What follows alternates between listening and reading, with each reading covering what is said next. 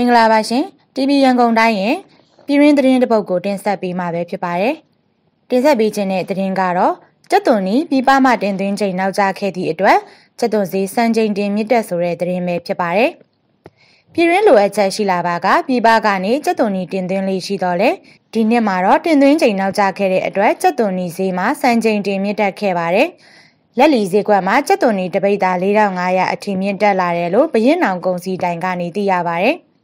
ရခင်ကကျက်သွန်နီဈေးနှုန်းမြင့်တက်တာကိုထိန်းချုပ်ဖို့အတွက်အိန္ဒိယနိုင်ငံကနေကျက်သွန်နီတွေတင်သွင်းလေးရှိပြီးဒီနှစ်မှာတင်သွင်းချိန်ကာလနောက်ကျခဲ့တာကြောင့်အပင်ထွက်လာနိုင်သည့်အပြင်ပြည်ရင်းစိုက်ပျိုးမှုကိုလည်းထိခိုက်လာနိုင်တဲ့အတွက်တင်သွင်းမှုမပြုတ်လုပ်ခဲ့တာလို့စပိုဆောင်သီးနှံစိုက်ပျိုးထုတ်လုပ်တင်ပို့ရောင်းချသူများအသင်းကနေသိရပါဗျ။ အရင်နှစ်တွေကဆိုဈေးမြင့်တက်မှုကိုထိန်းချုပ်ဖို့အတွက်ပြည်ပကနေတင်သွင်းတဲ့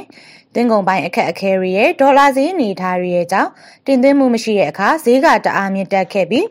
တချို့တိုးလောင်ထားကြတဲ့ကုန်သည်တွေလည်းရှိပါတယ်။သူတို့ရဲ့ဈေးဆက်တင်မှုကြောင့်ဈေးတွေကစံချိန်တင်မြင့်တက်ခဲ့တဲ့အတွက်စားသုံးသူတွေအခက်အခဲဖြစ်လာပြီးအခုချိန်မှတင်သွင်းရင်လည်းပြည်ရင်းစိုက်ပျိုးတဲ့သူတွေအဆင်မပြေဖြစ်မှာလို့အတင်းရဲ့တာဝန်ရှိသူတူကပြောပါတယ်။ ဘရင်အောင်ကုန်းစီတိုင်းမှာတင်မုံရွာကျက်သွန်နီတပိတ်တာကိုကျက်3900အထိရှိနေပြီးလက်လီဈေးကွက်မှာတပိတ်တာကျက်4500ကနေ9000အထိပေါက်ဈေးရှိနေတာကိုလည်းစည်ရင်းတွေအရာသိရပါတယ်။ပြီးခဲ့တဲ့2015-2019ခုနှစ်တွေမှာကျက်သွန်နီဈေးနှုန်းစံချိန်တင်မြင့်တက်ခဲ့တာကြောင့်စားသုံးသူများအခက်အခဲဖြစ်လာတဲ့အတွက်အိန္ဒိယနဲ့တရုတ်ကနေကျက်သွန်နီတင်သွင်းမှုတွေရှိခဲ့တယ်လို့လည်းကုန်သည်တွေရဲ့ပြောပြချက်တွေအရသိရပါတယ်ရှင်။